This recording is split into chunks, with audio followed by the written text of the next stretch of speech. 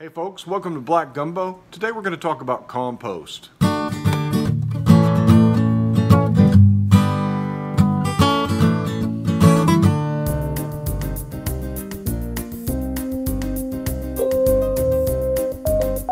First of all, what is compost and why is it good? Why do gardeners concern themselves with compost at all? Compost is humus. It's broken down organic material. Now, when I say organic in the context of making compost, I'm not talking about, you know, certified organic food that doesn't have pesticides and herbicides. I'm just talking about organic as in it was once living. It's made of tissue, uh, living tissue that has died. So that's what we mean when we say put organic materials into your compost pile. but gardeners use compost as nature's best fertilizer. Uh, when when things rot and break down the nutrients that compose those those organic creatures and things and living things like plants and grass and leaves, all that goodness in there is stored up in the tissue of that plant or that that stuff. And when it rots and breaks down, it releases that and makes it available to plants. And so compost is fertilizer. It's plant food and it's excellent for your garden. It's the best stuff you can feed your garden because rather than say a prepared well-balanced uh, NPK fertilizer like a 10-10-10 or or something uh, that's manufactured uh, you get you get a whole lot of the the broad spectrum of nutrients your plants need in compost. You get not just the NPK, but you also get all the micronutrients and the minerals that were in those living things that you rotted down and composted, and that's good for your soil. It feeds the good biology in your soil. It feeds the bacteria that you need in your soil. It feeds fungi. All of this stuff in your soil builds a web of life within your soil that your plants need and benefit from. And so, so composting is an easy way to take much of your waste that you'd otherwise send to the trash and, and put in the landfill, take it and put it in a compost pile, rot it down, and you've got free plant food. And not only is it free, it's the best stuff you can give your plants. So I'm going to talk about how I compost and the things I put in it. You're going to read about composting in, in a lot of places online and, and a lot of books are going to tell you how to compost. Well, I do it wrong. I do all the things wrong. And um, I'm going to show you what I do.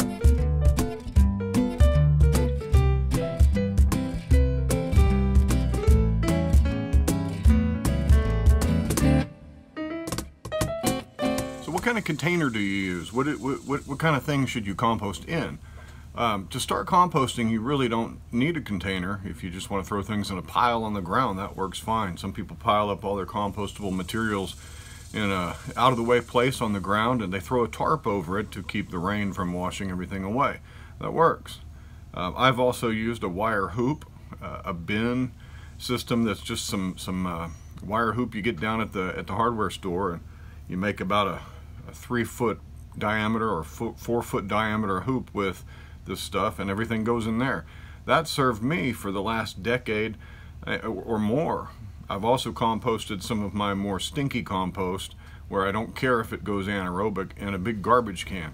I uh, put a few drain holes in the bottom just so that uh, the natural life in the soil can work its way up into the compost and I composted in that for many years too and a large garbage can would give me about um, 50 gallons of compost every year. Now that's a slow slow composting system and it's hard to turn that and that's why I would just let it go anaerobic in there and rot down. But a garbage can will work just fine for compost especially one that you can actually manage and handle. You put out a big tarp and when you need to turn your compost you can dump that out on the on the tarp and mix it up and put it all back in your garbage you know container one with a lid is perfect. Uh, currently I'm using a three bin system made of pallets and some of the uh, garden weed suppressing cloth just to keep the, all my compost in so it doesn't go out between those uh, pallet edges. And that's working for me because I need volume and so I've got a four by four bin and I have three of them so that's a lot of that's a lot of volume and that's what I need so I've built that. If you have the ability for large volume that's great. The large volume composting means you need to put a lot of stuff in it and finding and sourcing all that stuff can sometimes be a problem. So you can compost in all kinds of things. They also sell these little composting barrels that you turn. Now those are fine if you've got a balcony or something, you don't have anywhere to compost. I had a commenter also who's uh, composting on her balcony with a bucket and making a little bit of compost uh, where she can and that's good. So whatever you use, um, the, the larger your, your bucket, the larger your bin, or the larger your pile, the more compost you're going to get because this stuff, all this material, it, it rots down to about one eighth or one tenth of the volume that it was when it was fully living and, and wasn't broken down. So a lot of material is going to break down into a little bit of compost, of finished compost. And so that's why I don't use the barrel system that you rotate and turn.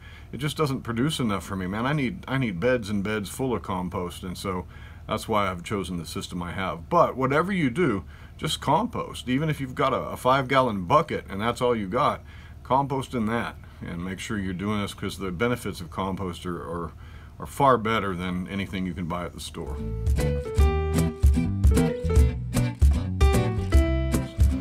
Here next to my compost bin enjoying the progress of a good hot compost pile. I have a running list of what I've put in this compost and most of it's standard stuff but a lot of what's in here is not the standard stuff including that bucket right there. In that bucket there are dairy products. People say oh you can't put dairy products in your in your compost. It'll stink, it'll attract rats and vermin. Just stick it in the middle of your compost pile, it's fine.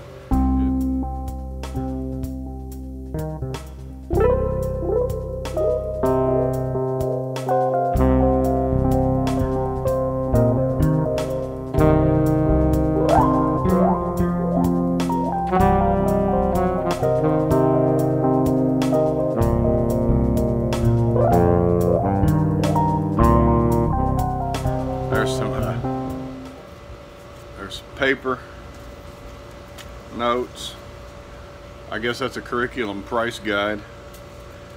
Some tissues, some coffee grounds, some banana. There's a banana peel. Always like to see a banana peel. It's peanut butter jelly time.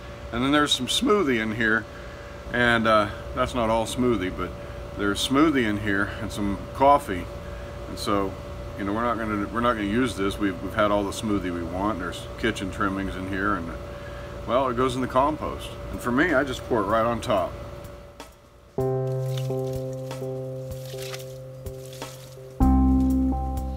Always have a good time putting stuff in the compost pile that you know is rich. Here we got some chicken stock and vegetables. There's some chicken bones in there and chicken trimmings It'll go right in there.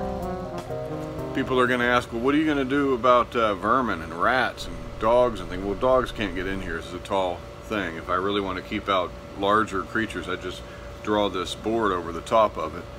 And, uh, you know, the possums can't get in there. But even if they do, they're just going to eat a little bit, poop a little bit, turn over some of my compost for me, and I don't care. I don't mind them in there. So long as they're not dragging it around the yard, they're doing their job too. I mean, the bugs get in here, they do their job, you know, why not, why not something else? It doesn't bother me. So uh, the other thing people say, well, it's gonna stink. Well, my compost actually doesn't stink because it's a hot pile. Now, if you put it in here and you let it, uh, you let it just go fetid and rot in a cold composting situation, yeah, then it's gonna stink. But even if it stinks, it doesn't stink that bad and doesn't stink for long. Paper towels, corn cobs, coffee, grounds, there is a sermon from the Gospel of Matthew that I shredded up after preaching today. Celery stumps. All of this is future compost. Anything I trim off of these, and everything in our, in our, even rice down in there, you see there's rice. Future compost right there. Stale bread, hey, that's future compost too. Potato peels, bits and pieces from bell peppers, shallot skins, paper napkins. Part of dinner tonight, future compost the next day. See all of this lawn? All of that wasted land. Well, I could get some of it back by composting it. Here's a, here's a nice bunch of compost. This is my dry grade. Any paper packing, this brown paper stuff, this is really good and it composts really quickly. Cardboard goes into my compost. It too composts uh, junk mail, screening stuff. Cookbook. Old cookbook we don't need anymore. Too much old old style thinking in this cookbook. Like you're thinking of our parents' generation where they used Crisco and butter substitute. We don't need a book like that anymore. We ate well back then, but we can eat better now. leaves from the tree.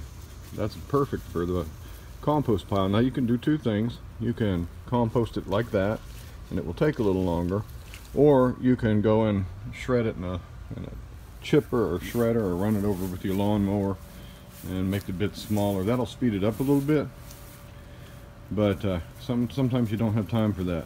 Just throw it in there. All the rules that we go by, a lot of people have been talking about how you can break those rules. I've learned from uh, Steve Solomon, I learned from David the Good on YouTube, and from a lot of other places that I read up on this stuff. You don't really have to worry about all the rules for composting. If it was organic, if it was alive at one time, but it's now dead, you can usually compost. Also, what about heat? Why do you need your compost to heat up? Uh, the heating up of compost comes from the action of the bacteria breaking down the uh, material in your pile. The bacteria, as they work, uh, they put off energy, and that energy comes in the form of heat. And a good compost pile will get up to 110, 120, even up to 135, 140 degrees. After you get about over 140, you start killing off your bacteria uh, they're they're kind of self-destructive in there. That's hot down in the middle. See that thermometer? Yeah. That thermometer goes all the way into the middle and tells us if the pile is hot. And it's very hot down in there. How much? How hot? 140 degrees. Dang. Yeah. Wow, you can feel that heat coming off in there. Feel that. Oh my gosh. Isn't that hot? Yeah. That is hot. That means that the bugs are doing their job down in there. Nasty. Roll, roll, want that heat because that speeds the process up. It makes a nice home for all those wonderful bacteria, and it kill, kills off weed seeds, at least some of them. Uh, kills off pathogens and things that might be in there that you don't want. So that's why you need a little bit of moisture, a little bit of oxygen, because those little bugs down in there, the bacteria and all that life in your compost needs air and needs water, just like you do. And so that's why we turn our, our compost, or if you can't turn the compost, at least get a, a spike or a rod or a stake or something and drive it down in there and, and aerate it by poking holes in your compost. And water your compost, keep it moist. You don't want it wet. If it's gonna if it's gonna be a big rain, cover it up. But you want some moisture in there as well. So water your compost and aerate your compost and look for the heat. One way you can open up air channels in your compost is to take a spike. I'm using this long rod that I got. I think it's a, uh, a ground rod, copper ground rod that I didn't use. But you could use any kind of spike and drive it down in there and kind of rotate it around and just open up some air channels into your compost. And that way you don't have to really worry about uh, turning it if you can't really get in there and, and lift all this mass out and turn it around you can put some air holes through there and just ventilate the whole thing. And that'll uh, serve the same purpose. It's not as efficient, but hey, sometimes we gotta do what we gotta do, huh? So when you have an active pile, your compost gets up to about 130 degrees or so. Man, that's hot. Now you'll read in books and you'll hear on various uh, you know YouTubers and websites that you got to layer your carbons and your nitrogens, your browns and your greens. You don't have to do that, but that's a good practice actually because uh, you know that mixes up the materials. So they say when you layer your carbons and nitrogens in your compost pile that you should have a 30 to 1 carbon to nit nitrogen ratio for the ideal pile. That's a lot of carbon. 30 parts carbon to 1 part nitrogen. I guess if you've got a ton of carbon and not much nitrogen, that's easy. I find it's a whole lot easier to come by nitrogen. And so I don't really pay attention to the ratio. I just layer things and it seems to work for me. Now I have uh, right now about equal parts nitrogen to carbon and my compost pile is burning away at 130 degrees and it's doing fine. if I had more carbon and, and uh, you know, if I had more cardboard boxes, if I ordered more stuff from Amazon, if I had more bad theology books I could throw in there, I would. And that would really uh, speed up the process quite a bit. These microorganisms need uh, both nitrogen and carbon, but they need a lot more carbon to really get going. So what are some sources of carbon and nitrogen? Nitrogen is usually your green stuff, like this branch. This is a piece of my uh, lime uh, tree that is being pruned off and being made a small fruit tree. And so I'm doing some summer pruning. And this will be a good source of nitrogen while it's green.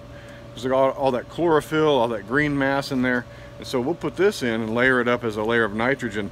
Lawn clippings make a great nitrogen layer. Um, coffee grounds, though they're brown, they are actually a technically a green in your compost pile. They make a good source of nitrogen. So there's nitrogen all around. Usually nitrogen's plentiful. Um, any kind of food scraps are usually nitrogen. Um, carbon though is usually, for me at least, harder to get because I have a fall leaf drop, but most of my leaves are oak leaves and they break down really slow, so I use those as mulch. But your carbon, your browns are things like cardboard. This is a piece of cardboard that I used as temporary mulch in my garden over there, and that started the breakdown process. You can see it's already got all kinds of good bacteria in there. And so I'll shred up this cardboard by hand. I don't, I don't use a shredder or anything. And I'll just put this right in my compost pile and I'll let that act as my carbon. So I use a lot of, a lot of cardboard, a lot of paper, a lot of uh, to-go containers, those fibrous kind, egg cartons, those kinds of things are good carbon source for your garden. Wood chips, although I don't use a lot of wood chips, uh, when I do have some, some branches or something, I'll send them through my shredder. And that makes a good source of carbon too. So carbons are your dry materials, your dry leaves, leaves that uh, the chlorophyll's already broken down. All you're left with is the carbon structure of the leaf. So fall leaves, if you can gather them up and bag them up and save them, you layer that in, nitrogen, carbon, nitrogen, carbon, and that's how you really get a compost pile that's hot and works fast. Been amended into every single bed in my garden, and you can see I've got three beds. They're four feet wide. Gosh, I don't even remember how long they are. And so if I need to amend my soil in all three beds, that's a lot of compost. I can extend that compost with compost tea, but I also like to amend my soil. It really promotes good biology down in there. One way to use compost is to side dress your plants. Under this mulch, I've put compost down just along the bases of my cucumber plants, for example. And I cover it up with my mulch. Now this mulch is actually uh, mostly uh, oak leaves and grass clippings and it is composting in place and that's beneficial too. But oak leaves are one of those things that takes a long time to break down. But I came along here and I poured compost along the base of my plants. And that's a good way to amend your soil and to add fertilizer to your soil, putting this compost down as a side dressing. Compost is also a major component of potting soil. I make a potting mix with um, one part compost, one part peat moss, and one part perlite or any other kind of thing that uh, will give aeration to your soil. And this uh, squash plant here, who's doing pretty good despite having survived the plague of, of spider mites, there's compost in there and that plant can feed off of that. So I use compost also to mix in with my potting soil. In preparing your beds, each year or before each crop actually I go in and you add compost to your soil and that puts natural nutrition in your soil and it's a fertilizer that's available for your plants and it is a good amendment to your soil in terms of uh, you know uh, fostering good soil life you want all those earthworms in there you want all that uh, biologic activity down there and compost feeds all that and helps your soil out a lot. Right here on this bare patch of soil I have some cowpeas that I've sown in here and they are um, going to sprout in the next couple of days. But what I've done is I've put compost on top and kind of raked it around a little bit just to amend the soil and give those cowpeas some nutrition. So compost is good for just spreading around, amending your soil, laying on top, top dressing. I practice in this garden no-till gardening. I don't dig as I try not to dig as much as possible, and so I just put my compost on top. But if you do dig, if you double dig or if you till, you want to till that compost into the soil and amend your soil with it. Another way folks compost is to make compost tea. Now this compost is really old compost. It actually has some old potting soil in it mixed in. but most of this is compost. And so you can take a little bit of this, look how rich that is, and put it in a bucket.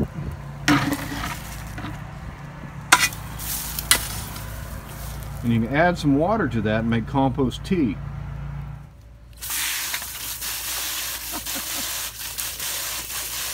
So you'll fill this up and let that compost brew in there for a few days in the sun and all that nutrition will leach out into the water and you can use that water to fertilize your plants and it's called compost tea.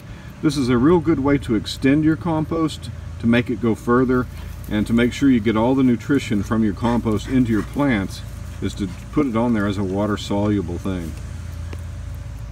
What do you think Phoebe? So, if you let that just brew now, you can come in later and strain out all that mess that's in there, or just dip in with a, a cup or something, and you'll have some good fertilizer for your garden.